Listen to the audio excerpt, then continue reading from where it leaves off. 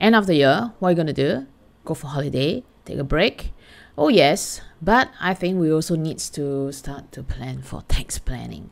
Yes, tax planning, and that's why today I'm going to talk about contributing to SRS. This video, I will talk about what is SRS, what can you do with SRS, and three steps to invest your SRS funds.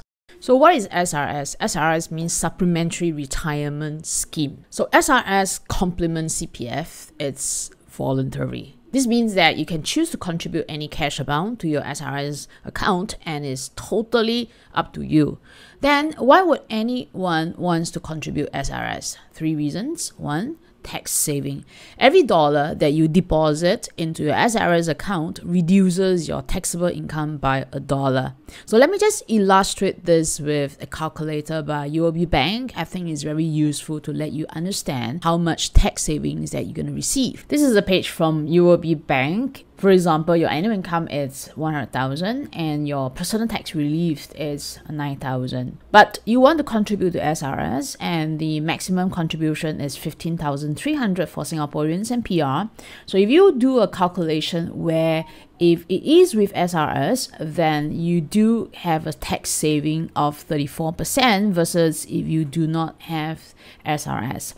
Each year, Singaporeans and PR can contribute at any time and as often as you like, but subject to a maximum of 15,300. For foreigners, it's 35,700. But to, to be but to be eligible for SRS tax relief next year, the contribution has to be made by 31st December this year. But note that some SRS operators they might need you to make the contribution earlier. Like for example, for DBS Bank, uh, you need to do that before 30th December 7 p.m. Now, the second reason of contributing to SRS is because of tax-free investment gain. You can invest your SRS funds in unit trusts, insurance plans, stocks, ETF, REITs, Singapore saving bonds, and others. The investment returns are tax-free before withdrawal, and only 50% of the withdrawal from SRS are taxable at retirement. And of course, third is the flexibility to, to withdraw. You have the flexibility to withdraw from an SRS account before the statutory retirement age. And if you do withdraw earlier, then there is a 5% penalty unless the withdrawal is made under exceptional circumstances such as death or medical grounds.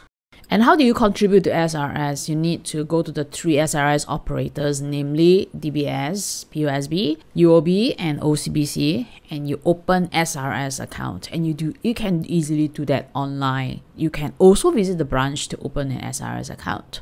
Then you can transfer your money from your normal savings account to the SRS account, and this is how you contribute to your SRS as easy as that. And do you need to lodge with IRAS whether you have contributed SRS? No, the SRS operator will just report to IRAS, and your contribution will be automatically reflected when you do your tax filing. And what are the three steps that you can do to invest your SRS funds? One, you open an SRS account, and that's, uh, I said already, with the three operators DBS, UOB, and OCBC. Second, remember you need to first link your SRS account to your brokerage account. Because if you don't link, then you don't see an option to buy with your SRS funds. So how do you link that? Just give your remisier a call and tell them that you would want to link your SRS account and give your SRS account to your remisier. Or there are some platforms that allows you to do that automatically in the brokerage uh, platform. Lastly, you execute your trade. And how do you do that? It's as if you're buying your shares, your ETF, or your REITs normally, but there's an indication now when you link your SRS account to your brokerage account that you want to buy these with your SRS funds.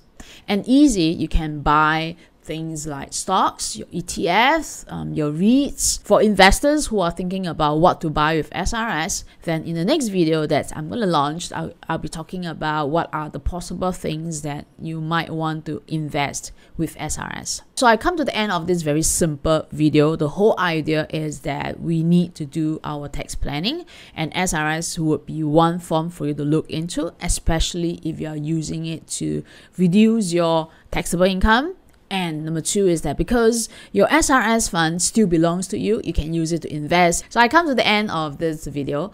Uh, if you like me to discuss anything about investment with SRS or for long term investment, do let me know and I will talk about it. And remember to hit the subscribe button because this is the channel where I talk about how to invest, how to grow your money, and as well as how to day trade.